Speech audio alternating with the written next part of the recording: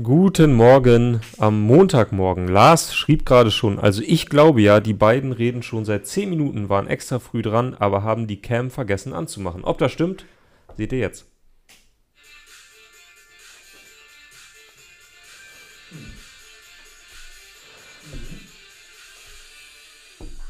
Ja, das war, glaube ich, mein Ton. Das war dein Ton. Exakt. Ja, in diesem Sinne. Ich hoffe, ihr habt alles doppelt und dreifach gehört. Denn das hält besser. In diesem Sinne. Max, moin, moin. Du hast, äh, Guten du, bist Morgen. Im, du bist im Oranje-Fieber. Mm, eigentlich nicht, aber Na gut. ich habe hier diese Tasse heute Morgen genommen, aber weil die Sidan-Tasse nicht mehr auffindbar war. Das ist völlig in Ordnung. Ich dachte ja eigentlich, du würdest mit der Tasse, ich möchte nicht übers vergangene Wochenende reden, hineinkommen. Denn das vorweg, du warst im Olympiastadion. Ja, sicherlich. Ähm, ich, ja, was heißt, ich will nicht drüber reden, dann wäre ich jetzt ja falsch. Stimmt. Ich will schon drüber reden, weil ich äh, ja irgendwo auch ein Ventil brauche. Ich hatte jetzt zwei Tage Zeit und ähm, ich meine, wir, wir wollen nicht nur über Hertha sprechen. Die zweite Liga gibt ja viel her. Ja. Wir wollen ähm, auch über die Frauen-WM, die ja aktuell gerade Nigeria, England, glaube ich, ne? Äh, Ja. Achtelfinale läuft, sprechen wir auch noch drüber, aber wir kommen jetzt nicht drum rum. Ähm, mir steht's. mir steht's bis hier oben. Ich, es ist langsam bei mir wirklich eine Grenze erreicht. Ich kann nicht mehr. Also es ist wirklich so, wie- so, so, erwartbar es irgendwie ja auch war, dass der Start beschissen wird. So übel ist es dann doch, wenn du gegen Wien Wiesbaden in der 92. Minute mit Doppel-Innenpfosten eine 0-1 frisst. Gegen eine Mannschaft, die die einzige ist in der ganzen zweiten Liga, ähm, die ich bisher gesehen habe, die auf einem ähnlich schlechten Niveau wie Mhm. Hertha war. Ansonsten alles, was ich jetzt gesehen habe, und ich habe dieses Wochenende vor allem echt ganz gut hingeguckt, Ja. ist eine andere Liga wiederum als Hertha. Also es ist echt erschütternd. So, ich meine, ich war, äh, ich hoffe, ich widerspreche mir jetzt nicht zu krass selber.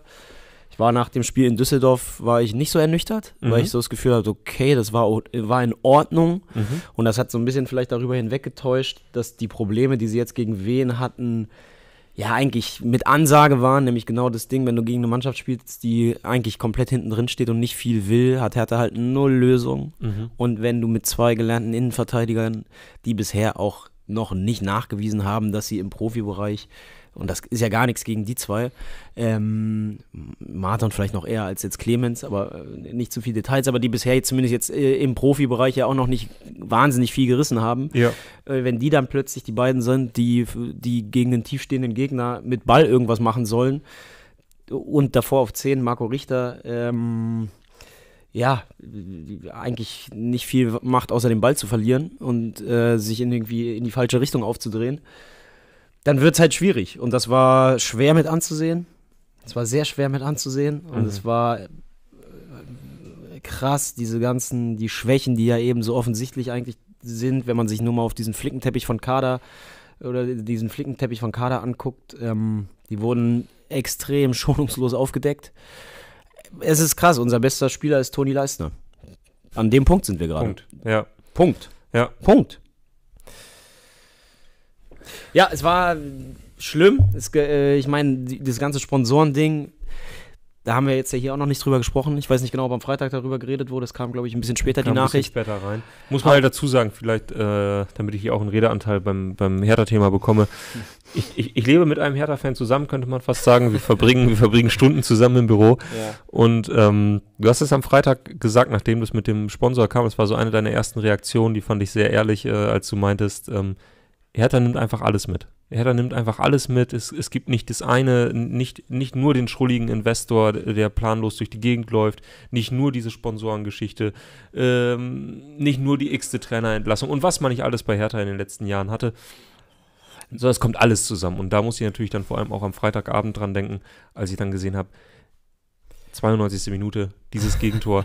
Jede andere Mannschaft, egal wie mies es läuft, gegen wen Wiesbaden bringt das Spiel dann wenigstens dieses 0-0 über die Zeit, womit niemandem geholfen Genau, wäre, reicht ja, es jetzt wäre ja schon beschissen genug. so, äh, ihr fangt euch dann auch nochmal das 1-0, damit es dann so wirklich auf die gesamte Beschissenheit der Dinge dann auch noch oben einen drauf gibt. Na, das Ding ist halt einfach, egal um welche Frage es jetzt geht, Hauptsponsor, sportliche Sachen, Investor, von den Optionen, die auf dem Tisch liegen, ist die, die Hertha dann wählt oder die Hertha bekommt, ist halt immer die maximal besch bescheuertste. Ja. Schlechteste, peinlichste, egal, kann man irgendwie jegliche negative Wörter, äh, Ja, Worte benutzen. ja. Das ist immer so. Ich meine, und bei dem Investor, äh, bei dem, bei dem Sponsor jetzt, ähm, das ist dann auch wieder, du hast bei Sponsoren, du hast Sponsoren, die zahlen viel Geld, aber sind vielleicht irgendwie fischig. Du hast Sponsoren, die sind, äh, äh, was die Außenwahrnehmung angeht, vielleicht ein bisschen äh, besser, aber zahlen halt nicht viel. Du hast äh, Sponsoren, die sind okay, sind aber hässlich vom Logo her.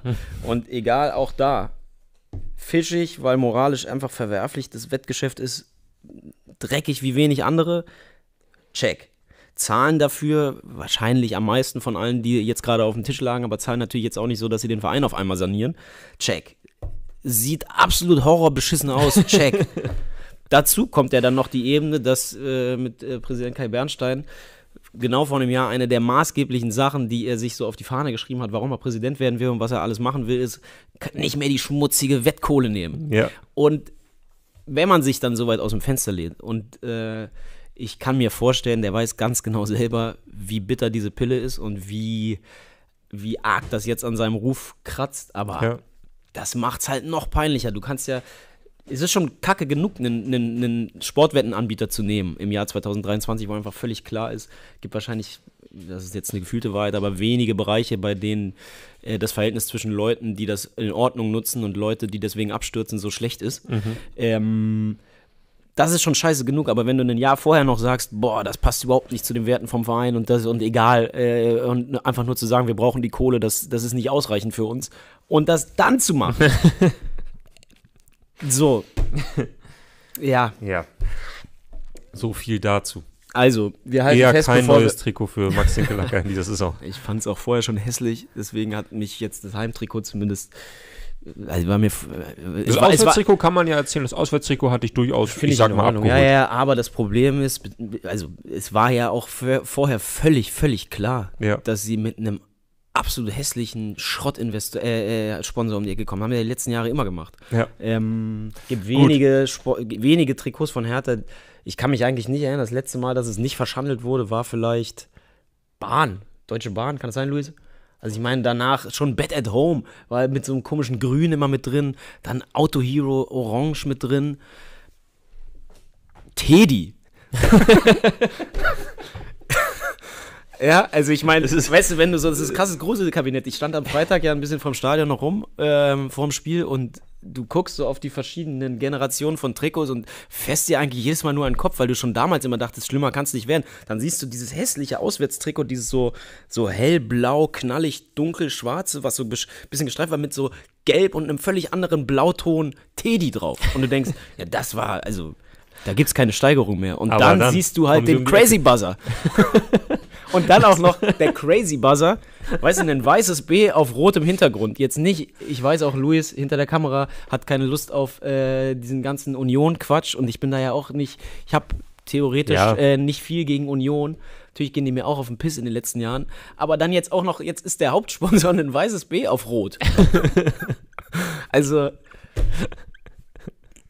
Das Schöne ist eigentlich gerade, ich, ich weiß, auch viele in den Kommentaren werden sich denken, Mensch, jetzt fangt doch endlich an, über die Spielvereinigung Kräuter Fürth zu sprechen, jetzt fangt doch endlich an, Ja. darüber zu reden, dass der erste FC Magdeburg das, das Derby, das Nachbarschaftsduell gewonnen hat gegen Eintracht Braunschweig. Ja. Ähm, da kommen wir vielleicht auch gleich noch zu. Aber das Schöne ist einfach, äh, dass man gerade gar nichts sagen muss, sondern man guckt einfach Max Ninkelacker beim, beim Denken zu und es kommen immer wieder bei ihm im Gedächtnis werden gerade so, so kleine Schätze ausge, ausgebuddelt und dann regt er sich auf und irgendwann merkt er, Teddy gab's ja auch.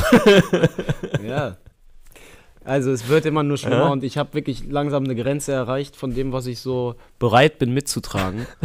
ähm, und äh, ja, Komm, Max, du hast gesagt, die zweite Liga, du hast es relativ intensiv verfolgt. ja, ja, ja, lass uns über andere Sachen reden. Und Und unabhängig. ein Tipp noch an Benny Weber. ja, Kauf doch einfach den Lee. Von wen? Das war, du siehst den, du siehst, ich kannte den vorher nicht. Und dann läuft da halt so ein kleiner wuseliger Typ rum im Mittelfeld und der, du siehst bei der ersten Ballberührung, das, was der kann, kann keiner von den Mittelfeldspielern, die aktuell bei Hertha im, im Kader sind und sich imstande äh, fühlen, Fuß, äh, Fußball zu spielen. Der kann nämlich einen Ball annehmen Ja. und nach vorne mitnehmen. ja, du weißt aber schon, wa was wird bei Hertha als nächstes passieren? ja, was weiß ich, wen sie jetzt holen. Wahrscheinlich noch Kevin Prince Boateng hat noch mal, braucht noch mal. Plattenhart. Egal. Okay, nächstes Thema. Zweite Liga. Ja, Ähm, Denn unabhängig davon, dass du natürlich irgendwann äh, denk, denken musst, wenn du diese Spiele siehst, verdammt, gegen die spielen wir auch noch. Welche Truppe hat dir an diesem Wochenende wirklich, wirklich gut gefallen? Wo hast du gedacht, uh, das ist, Also, ist ein Kandidat? weiß ich jetzt gar nicht, Aufstieg. Ich, also ich bin der Meinung, auch wenn sie jetzt äh, zwei Punkte haben liegen lassen, dass Hamburg durch die Saison fliegen wird, weil die qualitativ dieses Jahr so viel besser sind als alle anderen. Mhm. Ähm, einfach von den einzelnen Namen her. Du hast äh, Ist jetzt auch Glatze- einfach schon klar, ne? Wir treffen uns hier am 3. März und werden darüber reden, wie das jetzt schief gehen konnte. Ja, aber also ich meine, ich muss dazu sagen, ich bin ja Neuling. Ne? Und ich habe jetzt die letzten Jahre, mir ging es auch immer auf die Nerven, wenn Bremer und Schalker und Hamburger gesagt oh, die zweite Liga ist so geil, bla bla bla. Aber macht jetzt gerade schon, unabhängig von dem, was Hertha macht, Spaß.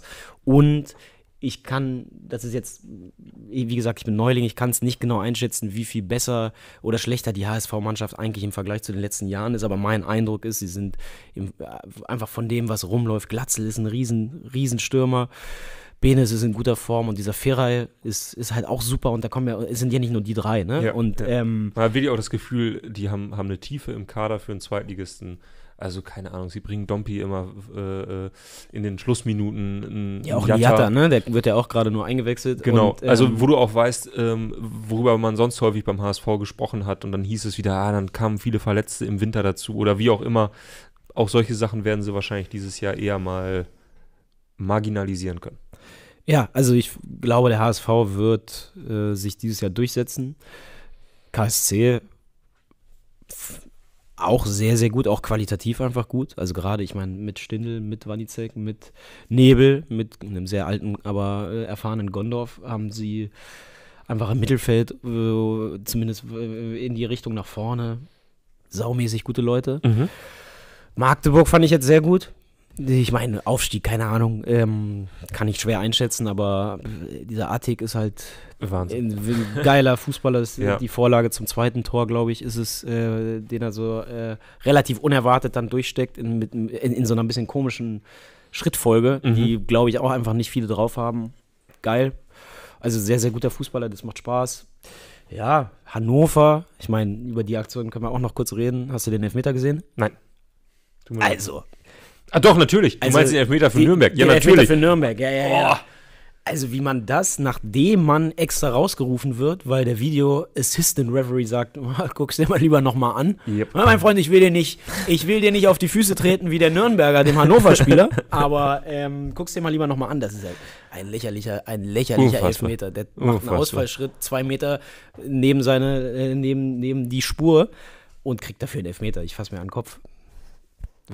Äh, also genau, äh, aber auch Hannover hat von den Leuten, zumindest die da irgendwie rumlaufen, eine ne ganz ordentliche Truppe. Düsseldorf, St. Mhm. Zwei seltsame Pauli. Spiele jetzt einfach, Hannover. Erst gegen Elversberg ganz früh zurückgelegen, Ja. sind dann wieder zurückgekommen. Jetzt gegen Nürnberg genau das Gegenteil. Da weiß man nicht so ganz so auch. Ja, und bei Hannover weiß ja auch äh, potenziell eine Mannschaft, Gut, äh, die dann auch, obwohl sie vielleicht das Potenzial hätten, irgendwie äh, in den Negativlauf kommt. Fängt ja vielleicht schon an gerade. Mhm. Aber Düsseldorf, St. Pauli, also es sind mal, jetzt aus härter Sicht, Schalke äh, holt auch irgendwie Punkte, auch wenn sie bisher nicht unbedingt überzeugen, aber es sind mal mindestens acht, neun Mannschaften dabei, die mal völlig, völlig ganz, ganz klar äh, einfach viel, viel, viel besser sind. So. Ja, ja. Puh. Ja. Was soll ich dazu jetzt sagen? Ja, vielleicht können mal kurz ein paar Hannover-Fans, äh, falls sie zugucken, äh, ihre Meinung zu dem Elfmeter sagen. Ich habe mir schon, also, wenn ich so ein Spiel nicht gewinne, dann würde ich äh, auskotzen kriegen. Aber auf der anderen Seite natürlich eine schicke Geschichte, der 17-Jährige, ähm, der nicht nur das 1-2 macht. Ich weiß nicht, ob, hast du das mitbekommen? Ich glaube, er heißt Usun.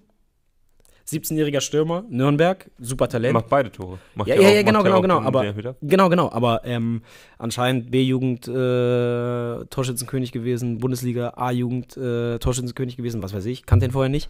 Äh, macht einen ordentlich oder ein schickes Tor zum 1 zu 2 und schnappt sich dann halt als 17-Jähriger äh, in, der, Gut, in der. Nachspielzeit äh, den, den Elfmeter. Also das muss er auch erstmal erstmal bringen, aber hat das Ding dann auch ziemlich äh, ja, mit, mit Überzeugung äh, reingehauen. So. Ähm, auf den kann man auch gespannt sein.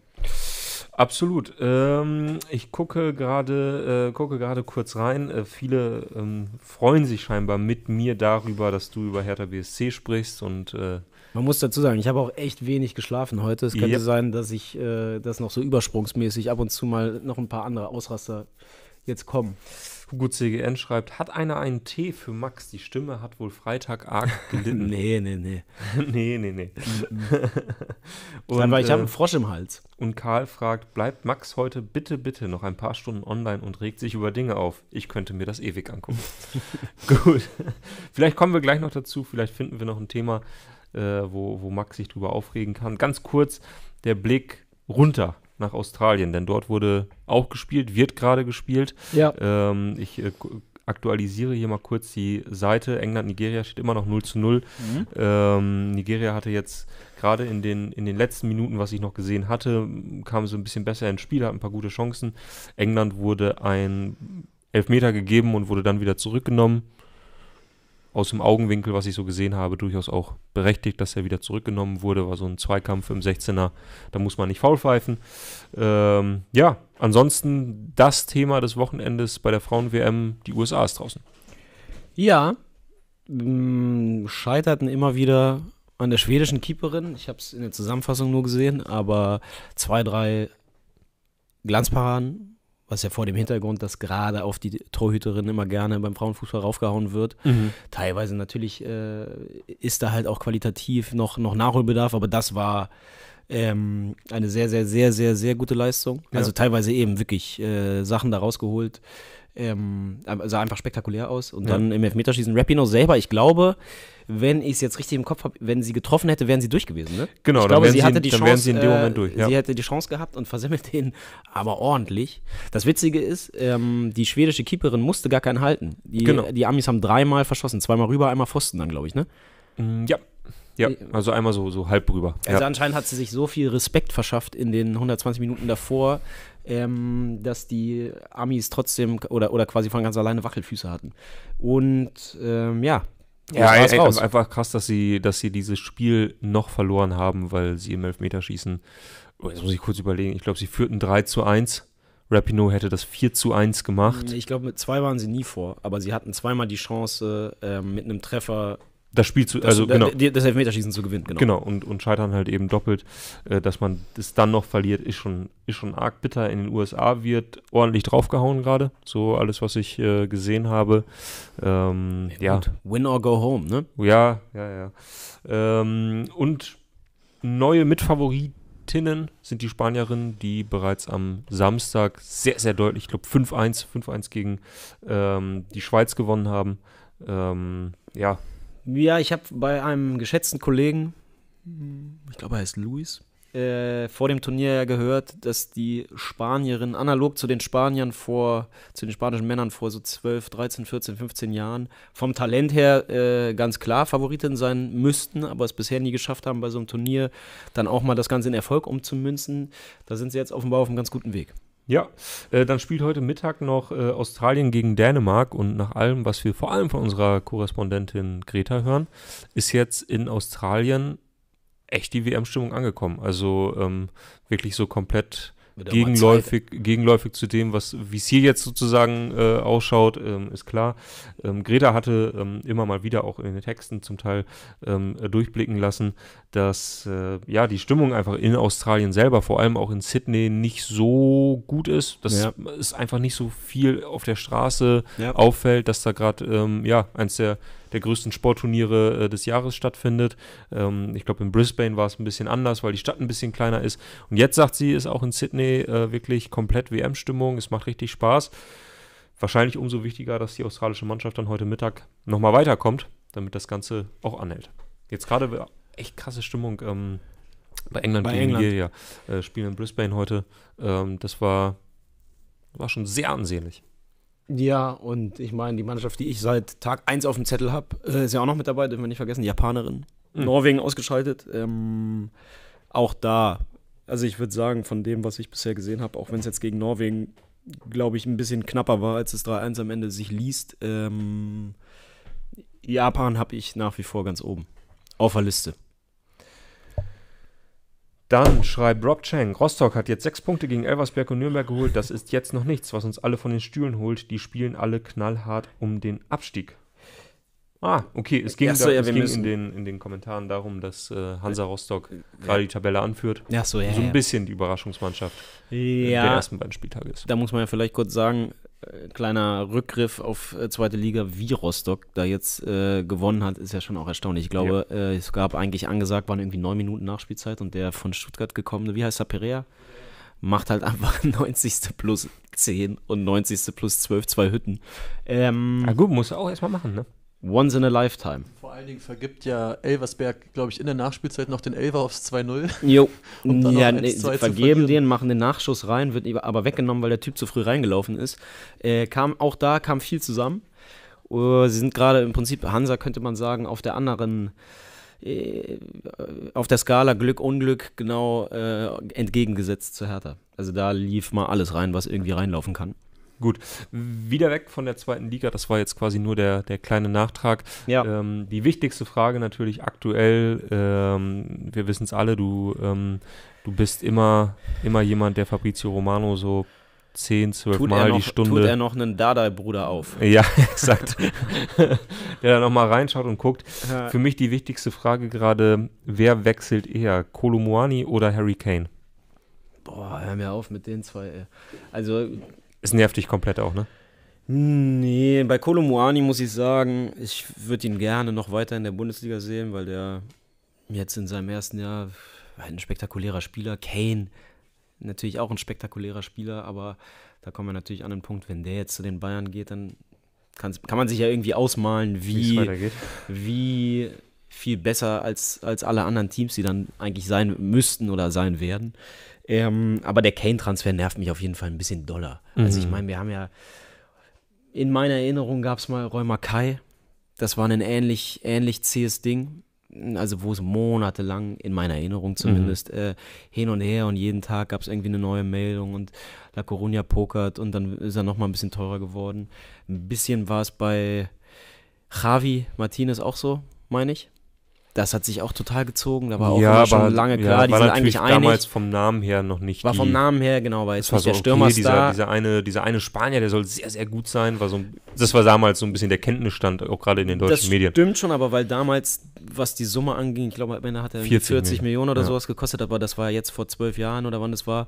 War äh, Rekordtransfer der Bayern zu dem Zeitpunkt. Genau, also das war ja durchaus eine Summe. Allein deswegen wurde da schon viel drüber gesprochen Ja. und da ging es eben ja darum, wie frech äh, Bilbao damals, glaube ich, ist, dass die da so äh, den letzten Cent raus, rausquetschen. Aber auch das war so ein Deal, der in meiner Erinnerung einfach äh, sich über Wochen zumindest zog, obwohl allen eigentlich klar war, am Ende wird das passieren. Und bei Kane geht es mir ein bisschen ähnlich. Mhm. Ähm, ich würde meine Hand dafür ins Feuer legen, dass er, dass er wechselt. Mhm. Ähm, ganz vielleicht dann meinetwegen erst nächstes Jahr, weil die Bayern sagen, okay, 100 Millionen für jemanden, der noch ein, ein, ein Jahr Vertrag hat, das ist uns zu irre. Ähm, ich glaube trotzdem, oder ich, ich würde 90 Prozent sagen, der wechselt diesen Sommer, Mhm. weil es halt einfach, ja, es reicht halt, wenn der Spieler, wenn der Spieler sagt, ich will und wenn der, wenn der Verein sagt, ich will. Also Bayern sagt ja, Kane sagt ja, ähm, dann will ich mal sehen, wie Tottenham das bis zum Ende durchzieht. Ja, ja.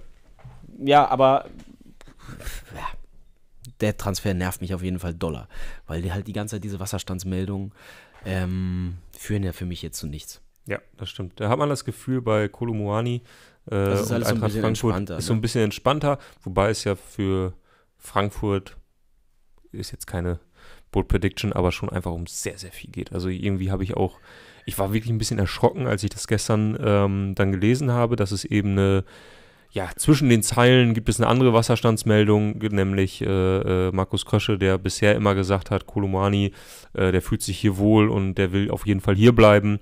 Hat, äh, Hat ist- er, glaube ich, nie gesagt, aber, Ja, ja, aber er so, muss nicht unbedingt weg. So. naja, also ähm, paraphrasiert war es schon immer so dieses, äh, also das ist eigentlich für uns kein Thema, dieser Transfer. Gestern äh, gab es dann Sätze, ähm, ja, wo man einfach rausgehört hat, das Ganze wackelt so ein bisschen. Es ist, äh, es heißt, PSG und Moani sind sich, sind sich einig. Ähm, und jetzt ist eben die Frage, will Frankfurt ihn für diese oder jene Summe auch dann wirklich verkaufen? Und finden sie natürlich auch, das ist ja dann die zweite Frage, einen Ersatz. Also für mich als Hertha-Fan ist es ja völlig äh, verblüffend. Wie kann denn ein Sportdirektor sich hinstellen und sagen, der, wir müssen den nicht abgeben? Der, von uns aus kann der bleiben. Hä, das, Ja. macht ja, es macht ja nur Sinn, wenn sie für den richtig viel Geld haben wollen, statt ihn für, für, für, Für, ich sag jetzt mal so, für Untermarkt eineinhalb Millionen oder sowas nochmal ab, abzugeben. Ja, weil man auch irgendwie sagt, wir wollen das, wollen das Gehalt von ihm Pokert einfach der da etwa? Darf man das? Darf Ja, man so ein bisschen blöffen als Man Sportdirektor? darf ein bisschen bluffen, Echt? ja. Mhm. Okay. Ähm, naja, ich, ich, ich Also zum Beispiel Also wird, mich- wird Kolomoani wahrscheinlich auch nicht seinen Vertrag auflösen und dann äh, am Tag danach beim FSV Frankfurt vor- vorgestellt werden. oder, oder bei der U23 nicht, nicht mitspielen können. Ja. Hat Frankfurt überhaupt noch eine U23? Ich glaube wieder. Wieder. Ah ja. Mhm. Ähm, also ich glaube, was bei dem Transfer halt so ein bisschen dafür sorgt, dass es mich nicht so sehr emotionalisiert ist, weil auch da ist mir halt irgendwie klar, Frankfurt hat in den letzten Jahren so gutes Business gemacht, dass ich mir relativ sicher bin, dass die ähm, den bestmöglichen Preis rausholen werden. Und PSG, da sitzt die Kohle halt so irre locker. Ähm, die werden eh zahlen, was sie wollen, wenn sie wir- wirklich sagen, äh, oder also die werden zahlen, was Frankfurt fordert. Und ähm, wenn, wenn da Einigkeit zwischen ihm und PSG besteht, wird das Ding halt auch über die Bühne gehen. Und das Einzige, was jetzt, warum das jetzt vielleicht noch nicht äh, noch ein bisschen klarer und deutlicher von allen Seiten kommuniziert wird, ist, dass Frankfurt wahrscheinlich nicht den Fehler macht, äh, den erst zu verkaufen und dann weiß jeder, die haben hier gerade 100 Millionen überwiesen bekommen, sondern dass sie halt wahrscheinlich jetzt gerade am Eintüten sind, wen sie da holen. Es geht ja um diesen Wahi, heißt der, glaube ich, ne? Mhm. Nächste äh, Supergranate aus Frankreich. Ähm, und dass sie im Idealfall wahrscheinlich da aushandeln, dass sie jetzt eine Zusage für einen Preis bekommen, der dann nicht, nicht nochmal 20 Millionen mehr wird, nur weil, weil die Sache dann auf der anderen Seite fix ist. So schätze ich, so schätze ich Krösche ein. Der Mann weiß ja businessmäßig zumindest so ein bisschen, was er tut. Wenn ich mir überlege, dass sie eigentlich jetzt schon ähm, mit den Verkäufen von So, mit dem Verkauf von dem Keeper, Ja. der, wie viel hat er jetzt gekostet? Acht? 8 Millionen zu Ajax, hatte zwei Bundesligaspiele bisher gemacht. Der ist bestimmt gut, aber acht für, ja. Vor allem, wenn man bedenkt, dass ein Lukas Toussaint für drei geht. Ist jetzt natürlich schwer zu vergleichen und der Typ wird schon gut sein, aber ähm, trotzdem, wenn man, wenn ich mir da reinziehe, dass Frankfurt gerade eigentlich Ausgaben, Einnahmen äh, jetzt schon mehr oder weniger ähm, bei Null ist Ja. und ich aber so das Gefühl habe, hä, die haben doch voll viele, voll gute Leute geholt Mhm. und äh, ich meine allein Skiri und äh, e egal, äh, aber, aber da denke ich mir schon, okay krass und wenn die jetzt noch äh, Kolomoani verkaufen, boah, das ist das zweite Mal wahrscheinlich, dass man so das Gefühl hat, okay, jetzt machen sie einen ganz entscheidenden Schritt auch finanziell nach vorne. Das Ja. erste Mal war irgendwie, als die Büffelherde gegangen ist. Ja. Und das hat unterm Aber Strich da ja- war es, äh, bei der Büffelherde war es ja tatsächlich noch so, dass man sich ein bisschen Sorgen gemacht hat. Und, also im ersten Moment und gedacht hat, uh, jetzt haben sie aber mal eben ihre komplette offensive Achse verloren. Was holen sie denn jetzt? Also ich Funktioniert kann jetzt nicht Wird es behaupten, dass ich funktionieren? mir da mal Also- Sorgen gemacht hätte ähm, Gut, um den Verein. sowieso nicht, aber, aber- aber ähm, trotzdem hatte man schon da das Gefühl, okay, das ist so ein so ein einmaliger, so eine einmalige Chance, finanziell plötzlich in eine völlig andere Sphäre irgendwie Ja. äh, vorzudringen. Und das hat ja funktioniert. Total, total. Und- Aber es war halt nicht klar, ob sie, Ob sie was sie mit dem das so Geld schnell- genau. daraus etwas machen werden. Das stimmt, das stimmt. Aber ähm, ich sag mal jetzt 100 Millionen für Muani, den man für wie viel Geld geholt hat? Der war ablösefrei, oder? Ich glaube schon, ja. naja. Oh Mann, ey. Äh, ja, das wäre auf jeden Fall für Frankfurt am Ende wahrscheinlich mehr Chance als Risiko. Das stimmt. Äh, ich äh, werte, ähm, äh, ich bringe noch kurz mit rein die äh, Kommentare von Rob Cheng, äh, der, der völlig richtig korrigiert, dass sie noch nicht bei Transferausgaben und Einnahmen bei Null sind, Ja. sondern äh, Boré muss noch weg, aber dann ist es halt, das nur der Ja, aber über, halber. wie viel reden wir da? Das sind dann 4, 5 Millionen, ne? Und ich meine, ein Verein wie einfach. Ach, ein bisschen einfach mehr. Könnte ich mir vorstellen. Der soll Ja, noch mehr einspielen. Ja, klar. Der hat ja auch letzte Saison ungefähr vier Kurzeinsätze gehabt. Ähm, Ja, Max, wenn man da jemanden hat, der sein Geschäft, der seinen Job versteht. Ich meine nur, selbst wenn es sieben oder acht Millionen sind, ähm, wäre das ja eigentlich eine Summe, wo man bei Eintracht Frankfurt auch sagen könnte, das kann man auch mal einfach investieren. Absolut.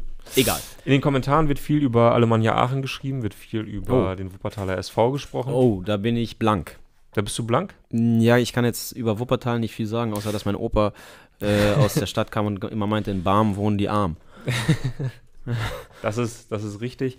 Äh, es geht vor allem darum, dass der Wuppertaler SV gegen Alemannia Aachen am ersten Spieltag in der Nachspielzeit das Spiel gedreht hatte durch einen mehr als fragwürdigen Elfmeter. Das kann man das mehr als fragwürdigen Elfmeter. Das kann man Achso, durchaus. die haben zwei Wochen in Folge das gemacht, ne?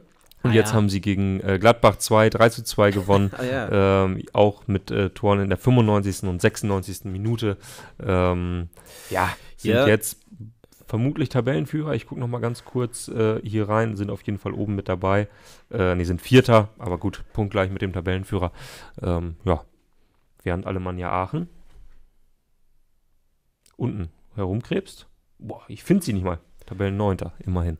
Neunter. Ja, Also, ich, ich konkurriere ja. nicht mit Leuten darum, bei wem es mieser läuft, wenn wir hier über Tabellenplatz 9 sprechen. Tabellenplatz 9 ist Paradies.